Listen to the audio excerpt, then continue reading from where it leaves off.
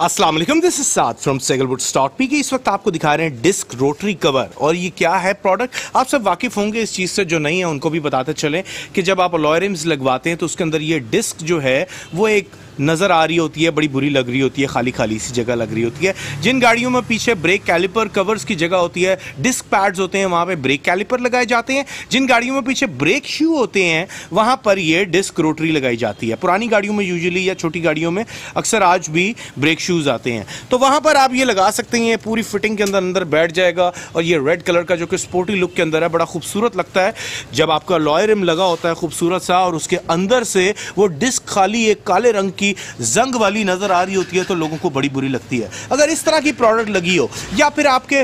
Break caliper covers लगे हों तो गाड़ी बहुत ही स्पोर्टी लुक और खूबसूरत लुक देती है। आप भी अपनी गाड़ी के अंदर ये लगा सकते हैं तो आज अपना ऑर्डर प्लेस करें और स्पेस करने के लिए हमारी वेबसाइट विज़िट करें सैगल मोट्स डॉट पी के अलाफिस